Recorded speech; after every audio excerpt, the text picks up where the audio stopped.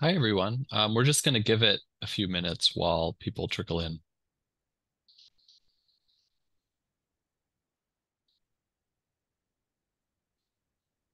Welcome, welcome. Happy Thursday.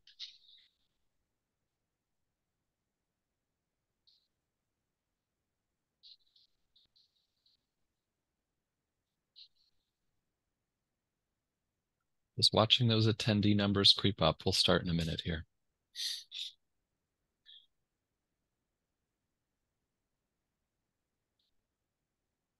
All right. Well, welcome to What Are We Doing? Wet Treatment and Conservation. Um, we do love puns here at the CCAHA. Uh, my name is Greg Stewart, and I'm the Education Programs Manager at the Conservation Center for Art and Historic Artifacts, or CCHA. Ah, excuse me, CCAHA, as I just mentioned. Um, and I used he and they pronouns. Um, so while it might at first seem like a bad idea to submerge a vital piece of your collection in water, there are situations when a wet, wet treatment is the best solution for conservation. Our very own uh, book conservation fellow, Nylah Byrd, is going to discuss two such case studies today. And our associate paper conservator, Joanna Hurd, will give us an overview of how paper and water interact in these treatments. Together, they're answering the questions of what wet treatment is, when the best times to use it are, and why it works in certain instances. Uh, this webinar is really designed to introduce you to um, what to expect and what questions to ask when discussing wet treatments with a conservator. So before we get into the presentations today, just some Zoom housekeeping. You are in Zoom webinar, which means that your video and audio are turned off, but you can ask questions or make comments to us in the chat at any time. This program is auto closed captioned in English, and you can turn on subtitles with the little CC button that's in the Zoom toolbar. So the format of today's talk will be presentations from our speakers, followed by Q&A with you. Uh, but please feel free to drop any questions into the chat during the program, um, and I'm going to read them off at the end to our speakers. And the program's being recorded, and we'll send a recording as well as the PowerPoint um, in a follow-up email with everybody. Um, and finally, I want to thank the National Endowment for the Humanities, the William Penn Foundation, um, and the Independence Foundation for making today's program possible. Uh, so Nylah, if you could just go to the next slide, please. Um, and so just a quick note about the organization that we work for, uh, the CCAHA. So we are a regional conservation lab and preservation services facility. We're based in Philadelphia, but we work with organizations and clients all across the country and indeed the globe. Um, our conservators treat paper-based objects like books, photographs, documents, artwork on paper, and more. And our preservation services staff work in the field, providing education programs like this one and helping institutions plan for the future of their collections. The center also offers a wide variety of digitization services, as well as fundraising assistance, housing and framing, and more. And you can learn more about us and what we do at our website, ccaha.org. Uh, so now I'm going to introduce our speakers. Um, as CCAHA's 2002-2003 NEA Book Conservation Fellow, Nylah Byrd works under the supervisor or supervision. Ah, excuse me, I can't talk today. Uh, under the supervision of Senior Book Conservator Richard Homer to support the work of our Book Conservation Department. Nylah graduated from the Winterthur University of Delaware program in art conservation, otherwise known as WUDPAC, in 2022 she previously completed her undergraduate education at Stanford University, receiving a BA with honors in archaeology and minors in chemistry and studio art. Her professional interests include ephemeral objects, fabrication of inorganic objects, archaeological conservation, creating protective housings, and equity and inclusion in conservation and the broader cultural heritage field. Um, as associate paper conservator, Joanna Hurd assesses condition and treatment needs, documents finding and reports, and treats a wide range of objects, including works of art on paper and archival materials. Joanna spent five years exploring the different fields of conservation before specializing in paper conservation with a minor in photographic conservation in grad school. She has since interned at the Philadelphia Museum of Art, the Weissman Preservation Center, and the American Philosophical Society. She is thrilled to continue evolving at the center after enriching experiences as both an intern and postgraduate fellow. Joanna received an MS in Art Conservation from Winterthur um, program in Art Conservation and a BA in Art History from Boston University. Um, and with that, I will turn it over to Nylah and Joanna. Thank you. Thank you, Greg, for that great introduction. And I'd like to welcome everyone again to our presentation, What Are We Doing? Wet Treatment in Conservation. So to start, we want to introduce why an item might receive wet treatment. We often do it to reduce staining that might be on paper, reduce brittleness in the paper so we can avoid a situation like the one pictured, and to stabilize iron gall ink uh, which often degrades over time when it's unstable. So to further illustrate the intricacies of wet treatment, um, I'm going to discuss two different treatments I conducted on two books from the New York Public Library, and Joanna will give us some scientific background on water and its interactions with paper.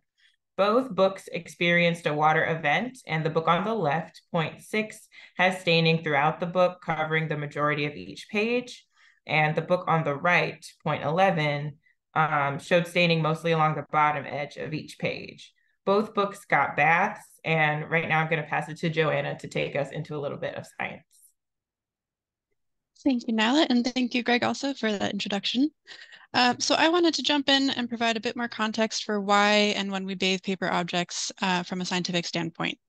Uh, when I'm telling people about the work that we do, one of the most common reactions is some amount of shock and or horror at the fact that we often will immerse paper in water. Um, it's an understandable reaction, I think, especially given how many people in the United States grew up with the elementary school experience of blending up a bunch of paper with water and making new paper like you see on the left um, just through a mesh screen. Um, so adding excess water to paper is associated with deconstructing an existing piece of paper in a way. Um, and if paper were truly only isolated fibers suspended in water, like we see in the microscope image on the right, then that might be more likely. Uh, next slide. But the vast majority of papers are made with sizing, which tends to be a material that's kind of sticky when it's wet, but then dries to a hard film. Gelatin is the most common in pre-industrial Western papers, uh, followed by rosin, which is a pine resin. And if you are a violinist, you probably have encountered rosin in this form for um, using on your bow, uh, but it's also very common in paper. And sizing is used to change how paper interacts with water. So a notebook paper will be heavily sized so that when you write on it, the ink lines stay nice and sharp, but a piece of paper towel would have little to no sizing so that it absorbs as much water as possible. Um, and other additives like starch can be used both to modify how the paper interacts with water. Um, sometimes it's applied as a surface coating. Um, if you see like really sheen, high sheen papers, there's usually some kind of coating. Um, but it also can sometimes help to bind other things like sizing to the paper. So it's rarely that you find just fibers and water, but next slide. Even if you were to find just um, fibers that have been um, soaked in water and drained, it would be more than just the isolated fibers because there's an interaction. Um, and we and a number of people in the paper world tend to refer to paper as the miracle of hydrogen bonding because the interaction between those fibers creates this bond that um, is very hard to separate without intervention, extreme intervention. It's a very strong bond. So in the case of that school activity, it's really the blender that's responsible for the dismantling of the paper more so than the water. And the fibers' interactions with each other and with the other components creates this very complex inner structure that's actually about 4 to 8% water by weight, just in ambient conditions. So that'll change a little bit depending on how humid it is, um, which is why, you know, in a really humid environment, it's going to have a lot more water in it and more likely to mold. Um, but the key point here is that water is always involved. It's just not necessarily the free water that you'd think of when you think of a bath. In a way, you can actually think of paper as a gel where the fibers are the dispersed solid and the water content is the liquid medium. And I like this way of um, kind of thinking about it because I think it's a more accurate uh, reflection of what these interactions look like and or how we would perceive them.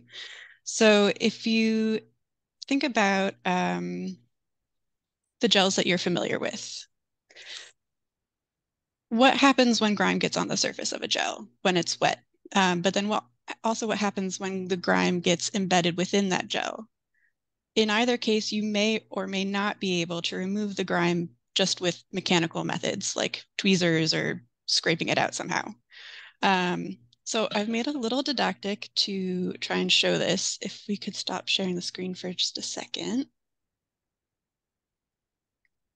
Okay, so I have this little um, rectangle of gellan gum, which is a rigid polysaccharide gel. You can see it's not very thick.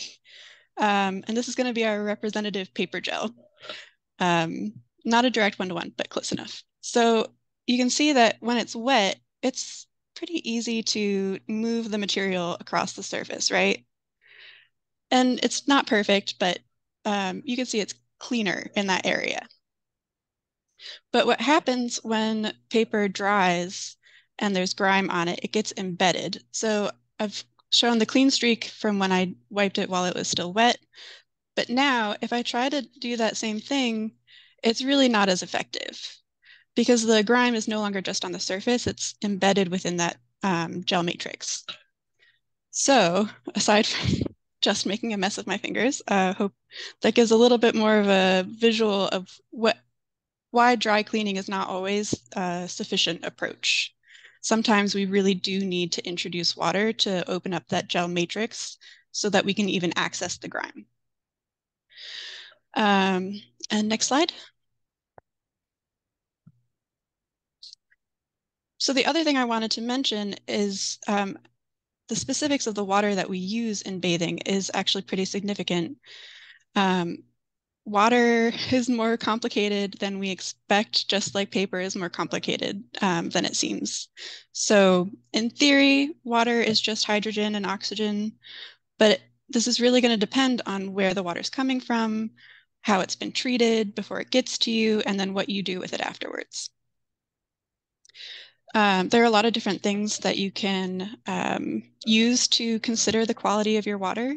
And this is, I think, a broadly applicable um, set of considerations given that we all rely pretty heavily on water.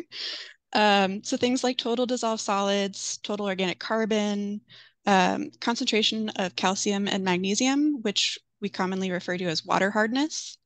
These are all things that um, will inform you of how pure your water is.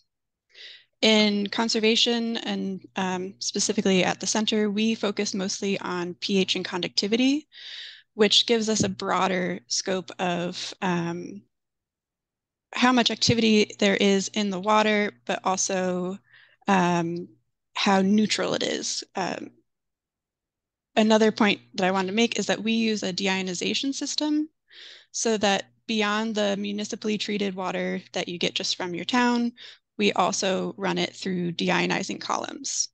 So what this does is um, remove any charged particles so that what comes out of the tap is as close to pure H2O molecules as we can get. Um, but that's actually pretty aggressive, um, just as water. We call it hungry water because there's so little in it that it really wants to take things from whatever is in it. So then we have ways of adjusting the water. Next slide. as I mentioned, pH and conductivity are big considerations for us. We have um, different solutions that we can add to our deionized water to adjust specifically for pH and conductivity. Um, but other ways that we would adjust our bathing for a treatment would be to use something like a buffer, which reduces the response to any drastic pH changes. So if you had newsprint, which is known to be just horribly acidic, um, and you were for some reason really concerned about the bathing solution jumping drastically in pH as soon as you put your object in, you could use a buffer that would be able to stabilize the pH and account for that sudden increase in acid. Um, we also use surfactants, which gives more access, um, penetrates deeper into that gel matrix. Chelators target uh, free metal ions. A lot of things like um, iron are really detrimental to paper. Uh, but then there's also the method that we use to apply the water. Um, and that's what Nyla is going to expand on more. Thanks for that, Joanna. Right now, I'm just going to walk you through all of the steps um, involved in wet treatment. And I'll go through each step about one by one and just talk about what I did the same or differently between these two books and why. So first we have to select a pH. And like Joanna said, paper becomes more acidic, more acidic as it degrades over time. So you don't want to further that degradation in the bath by introducing the paper to acidic water. Um, so I used a pH of about 8.5 for both of the books. This is slightly on the basic side in order to neutralize some of the acidic degradation products currently in the paper, but it's not basic enough to cause any adverse reactions and like therefore make our paper basic and really throw the chemistry out of whack. Moving on to barrier layers. Before the books go into the bath, they are disassembled into gatherings, eh, which is a group of folded leaves. And these are wrapped in a barrier layer before they go into the bath so we can handle the gatherings by the barrier layer as opposed to directly putting pressure on the wet sheets of paper themselves. As you can see, I've used two different barrier layers for these treatments. For the book with the overall staining, which is 0.6, um, I used a wet strength paper, which the name is somewhat self-explanatory. It's a paper that maintains its strength when it's wet. So dollar bills are printed on this kind of paper, so your money is durable and doesn't fall apart if you happen to get caught in the rain. Um, for the book with the bottom edge staining, which is 0.11, I used Pellon, which is a non-woven fabric made from polyester fibers. In addition to handling the gatherings, the barrier layer also helps draw staining out of the book during the drying process. Because the gatherings are many sheets of paper folded around each other, the water moves from the inside out in order for the gathering to dry.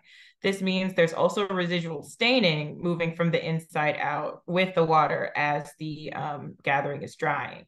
So without a barrier layer, that staining would remain in the outer sheet of the gathering. And that's why I use the wet strength paper for the more heavily stained book you can even see a faint rectangle of brown inside of the wet strength paper, and that's just from residual staining that came out during the drying process. Pellon is regularly used in wet treatments because it's strong, but you can also see through it pretty well, and that's especially important in a bath, um, which is advantageous for like materials with written media and or mixed media because you can easily start to see if something unpredictable happens. Um, so we've chosen a pH for the water and we've chosen a barrier layer for the gatherings. And now it's time to start bathing. I'm going to talk about the number of baths and the water temperature at the same time because they sort of play off each other. For 0.6, I did two baths. The first bath was at temperature that the deionized water comes out of the faucet. I didn't feel the need to increase the temperature because I didn't want the staining to move out too fast and potentially draw out um, things in the paper that we did not want to.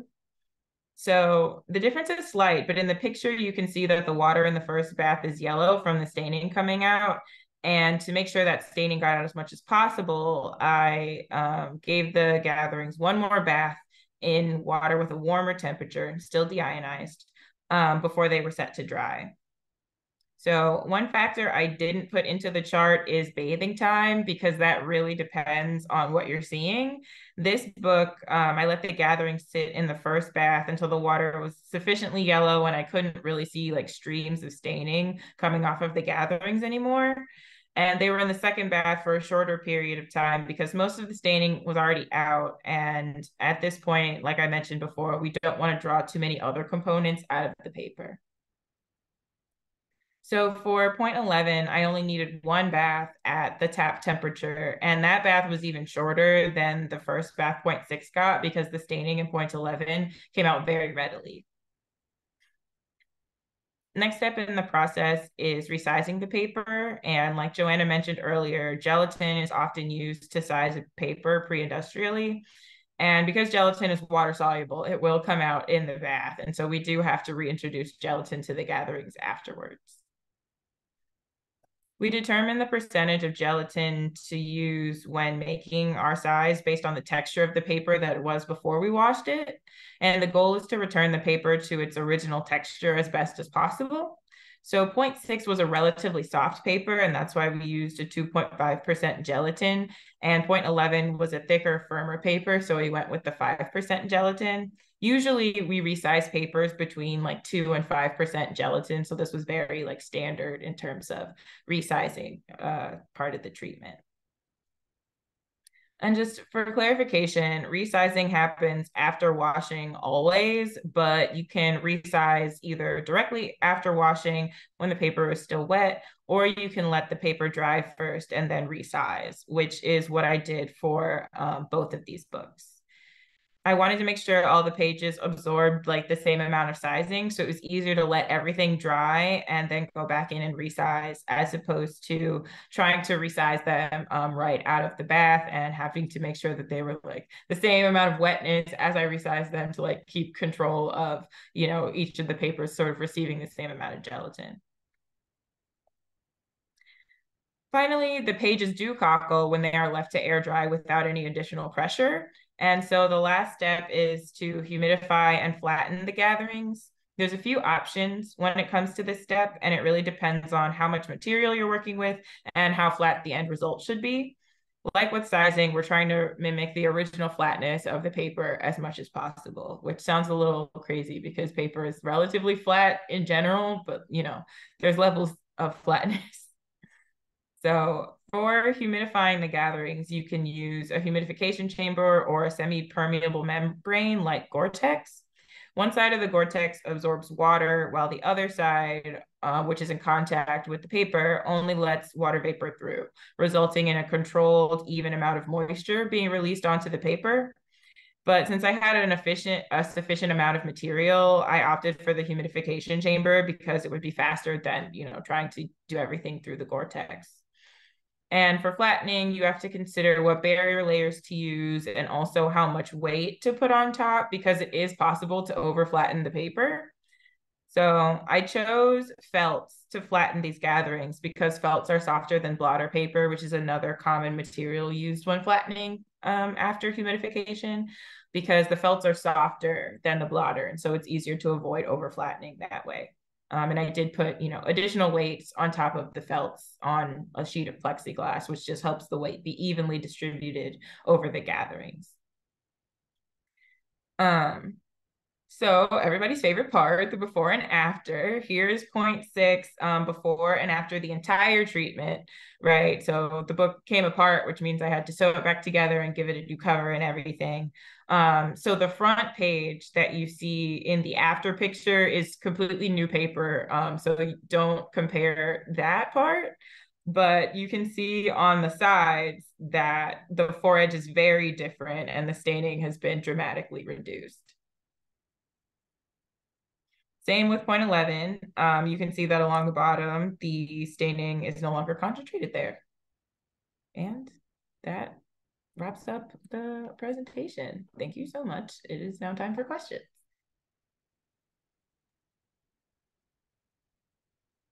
Yeah, thank you, Nylah. Thank you, Joanna. That was I I feel like it was such a great uh insight into your process. That was really cool to see. Um I'm not seeing any questions yet, so um maybe we can let them uh, kind of trickle in. But I, I do have one question I was thinking about while you were presenting, which is, um, you know, this kind of difference between um, the the wet and the dry treatments. Um, are there times when you would do both, or is it is there like a situation where you might start with the dry and it's not working, so you need something a little more uh, in depth in terms of the wet treatment? Um, yeah, just a general question about using those two yeah. in tandem. A lot of times we actually start with a dry um, cleaning step to remove anything that is loose soil on the surface so that it doesn't become embedded once we add more moisture. So starting dry is a pretty standard like start of our workflow. Um, and actually, I'm seeing lots of questions coming in the chat now. So I just should I stop sharing the screen, or would it be helpful to leave it up in case we have to like go back to slides? I think you might as well leave it up just in case we want to refer to something. Um, let's see here. So yeah, so a question about applying gelatin sizing to dried paper. Is is that possible or does it always kind of need to be wet? Oh, yeah, no, you I applied it dry. That's what I did. I took the Oh, sizing okay. and applied it to the paper after it was dry. Yep. Sorry, that Did might you have been my Humidify it first?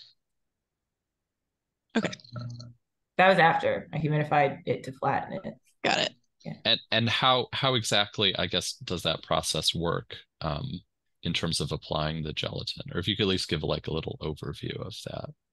Yeah, yeah. After you make the gelatin, um, I use just like a coffee warmer to keep it at temperature so it doesn't like start to separate out too much. Because even though it is a small percentage of gelatin, it will like solidify a little bit um, at room temperature. So I just put the the beaker that I made the gelatin in on a coffee warmer and use a big brush and brush it over the paper.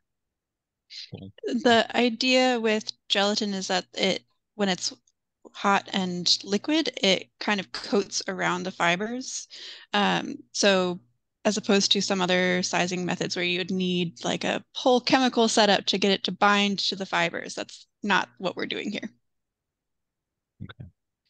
Um, thank you. Um, and next question is how many hours did each treatment take approximately from beginning to end? Oh boy. I don't remember off the top of my head. I do feel like both treatments were upwards of 20 hours for sure. Um, the bathing part itself, though, I feel like the the more st- the heavily stained book took maybe two to three hours just for the bathing, maybe another hour, hour and a half for sizing. Um, humidification and flattening goes relatively fast. Like it only needs to sit in the chamber for about 15 minutes before they're adequately humidified. And then you just kind of lay all the gatherings out on felts and, and set them up under the weights, which doesn't take too long. So maybe half an hour, 45 minutes for that whole process. Um, for the less stained book, the bathing was shorter, so maybe an hour, an hour and a half, but like about the same same amount of time for the the subsequent steps, the resizing, humidification, and flattening. Yeah. Well, thank you. Um, oh, here's a good question. What happens when a paper is over flattened? What would be the the maybe the dangers there? Basically, it just means that we're like um, changing the the way it was structured, and especially when you're dealing with a book that you're rebinding, especially if I was putting it back into its old cover, it would change its dimensionality quite a bit, and so the old cover might not fit on as well. Um, There's Bushra, also- what were you gonna say? Yeah, there's also a risk of losing some details from the printing, um, especially in older books where it was a relief print. So you'd have um, a, like a texture from where the um, the relief of the text was pressed into the paper. And if you aren't careful about how you humidify and flatten that, you can lose that level of detail.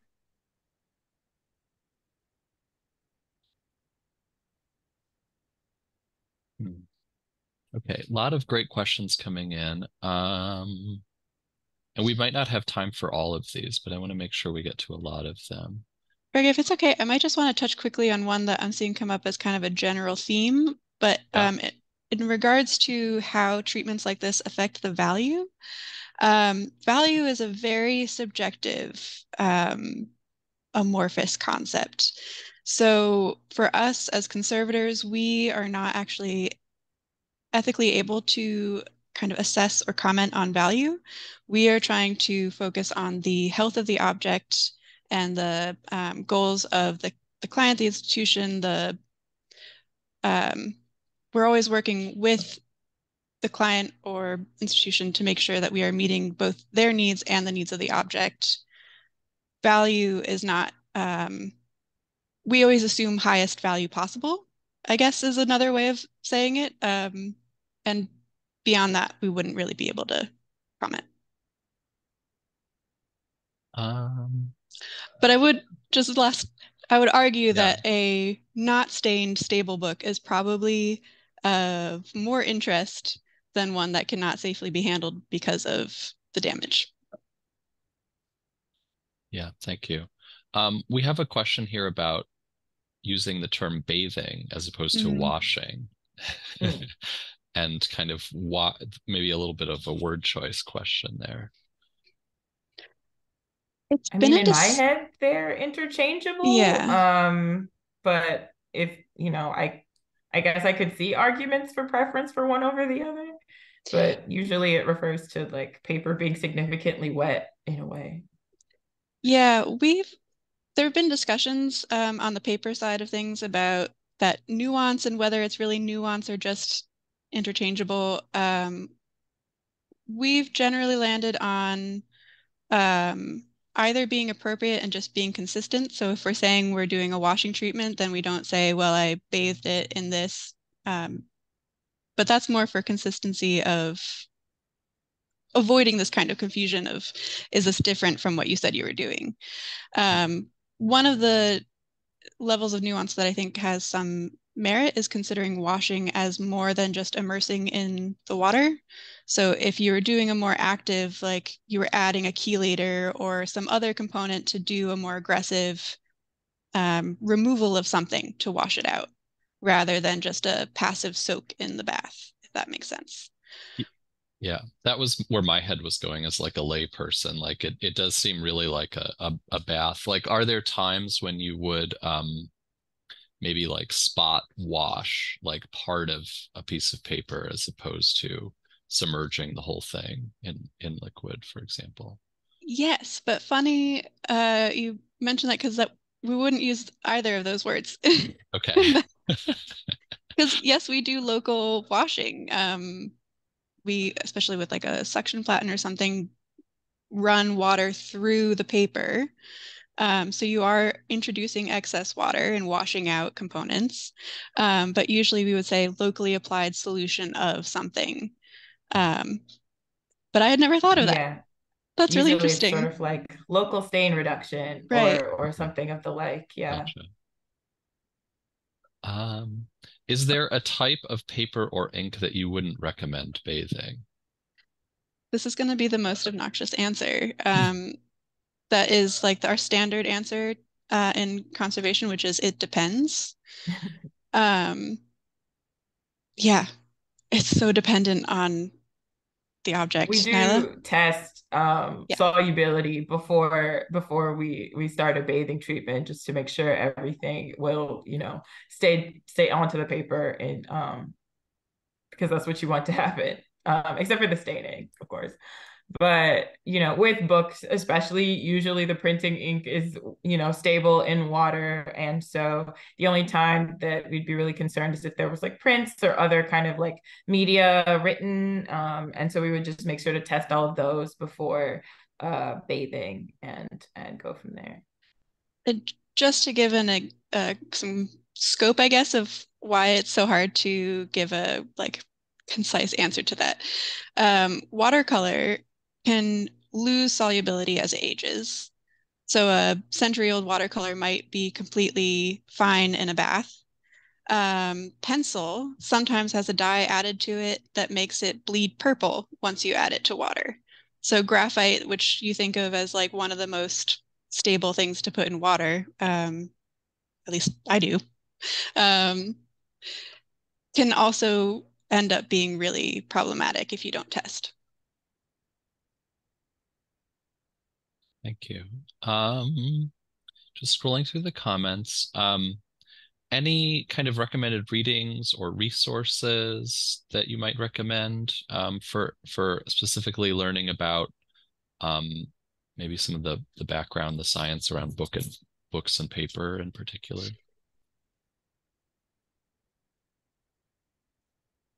I mean, usually like the the book and paper science is really kind of based on the science around cellulose and how it interacts with itself. Um, and so it's really cellulosics and then kind of acid base chemistry, uh, which yeah, is is is the basics level of understanding for that.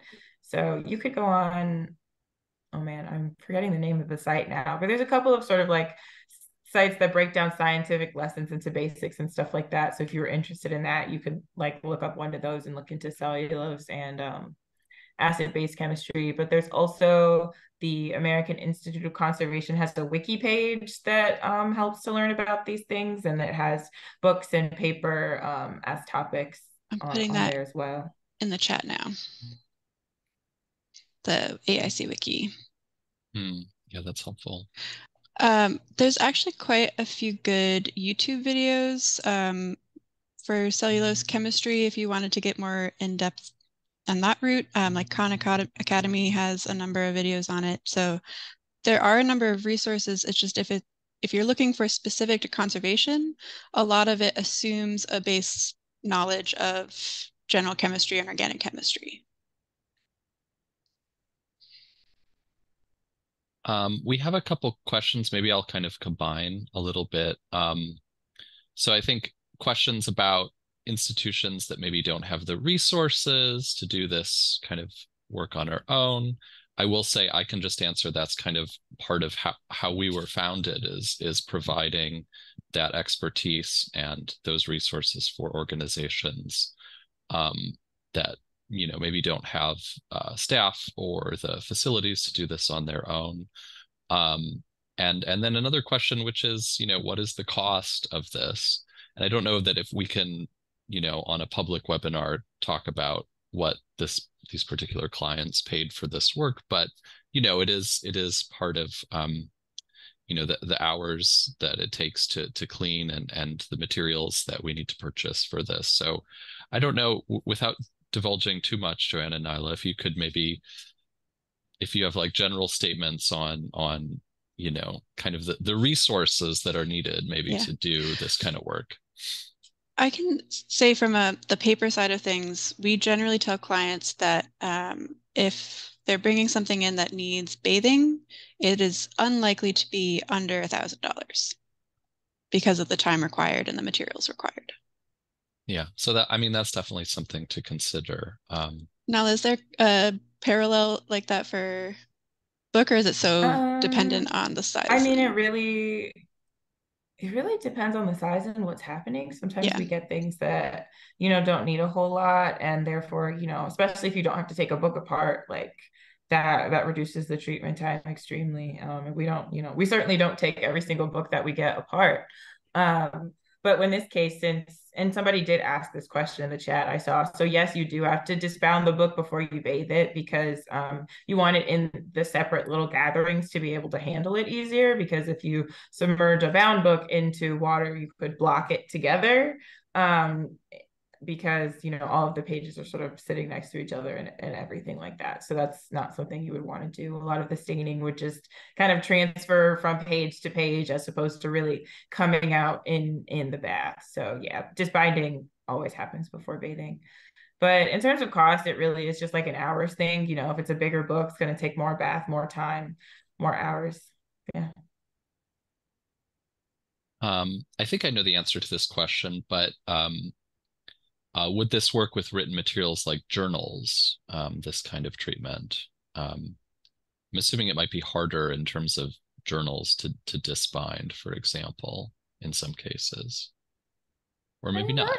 Not particularly. It really depends on how it was sewn, but um, and the like adhesive used. But usually disbinding things is relatively straightforward, at least in my experience. Um, but really the thing I would be concerned about most with a journal is like the the writing inks, yeah. right? And if that's water stable or not. Because you know, right. if if it's not, then you can't submerge it. yeah. But we do um with some regularity when we're working with archival collections. Uh, if we get a manuscript, which is our general term for anything that's handwritten, um, we would test the ink for solubility and for those unstable iron 2 ions that Nylah had mentioned earlier that we find in iron gall ink. Um, iron gall ink does tend to be, does tend to be, not always, um, insoluble in water by the time it reaches us. Uh, and water is necessary to deliver the, um, the chelator that we use to stabilize the iron. So we do pretty regularly when working with archival collections, do a bathing treatment with the manuscript ink. Hmm, yeah, thank you. Um, I believe we've actually gotten to all the questions. Um, let me just make sure I didn't miss anything. Um, oh, I guess we do have a question here about choosing a company. Um, I assume this is choosing an organization like ours to do the treatment. Um, I'm not quite sure if that's what the question is, but uh, if you could respond in the chat.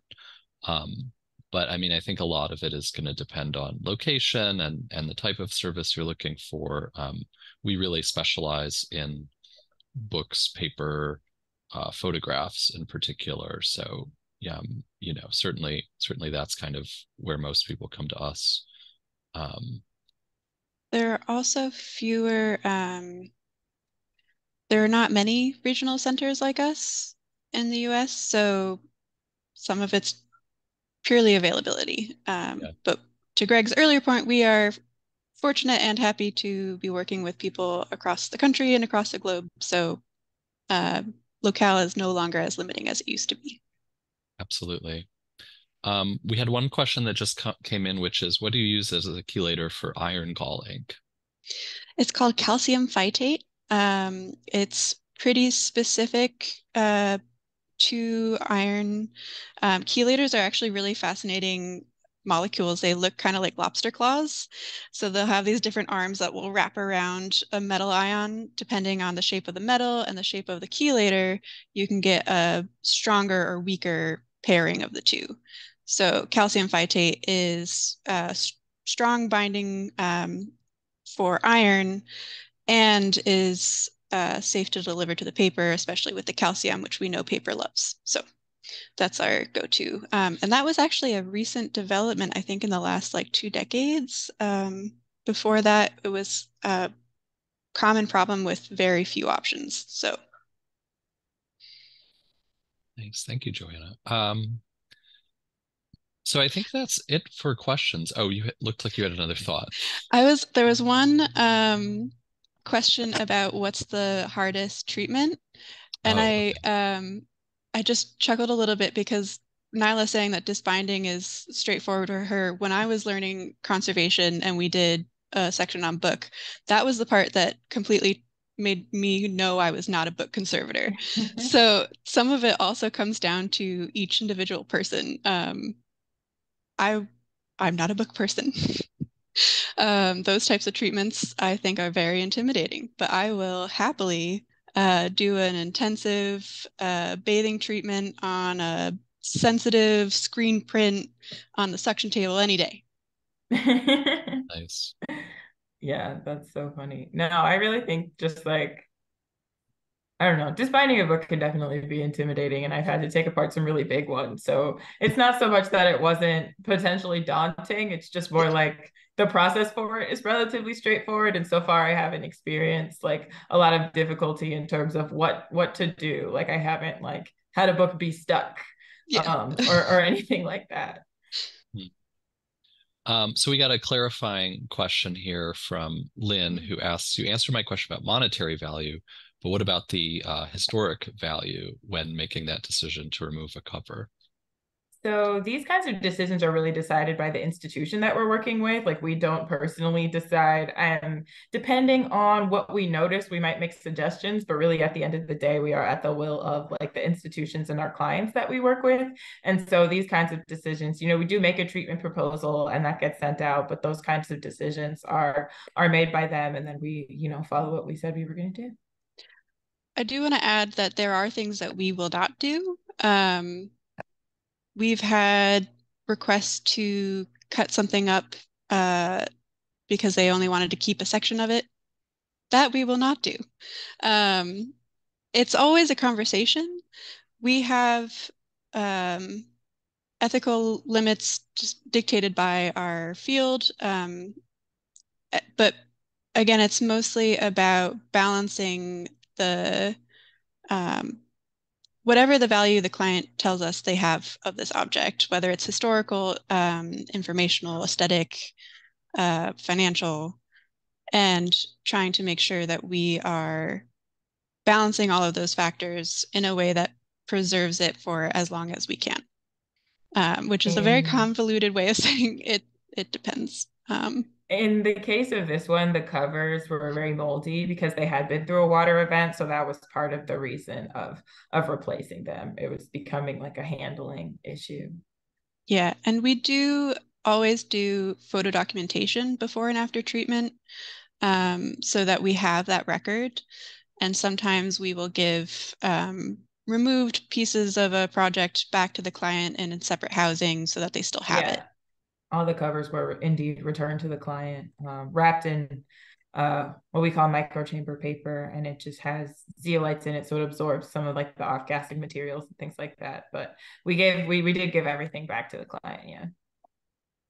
Yeah, and in cases of mold, um, the human safety aspect tends to outweigh both the historical value and the financial value. Um, but I think arguably, if a human cannot interact with it, then the historical value becomes questionable um, because it's no longer able to be interpreted and appreciated.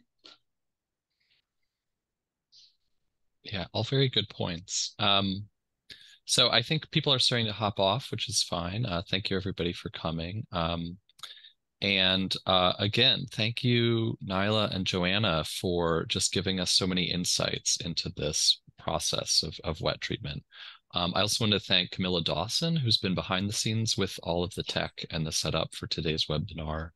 Um, thanks again to the National Endowment of the Humanities, the William Penn Foundation, and the Independence Foundation, which allows us to do free webinars like this. Um, and most importantly, thanks to all of you for showing up today. Um, so our next webinar will be a little help from my friends working with emergency service providers um, on October 5th at noon also. So we hope to see you there.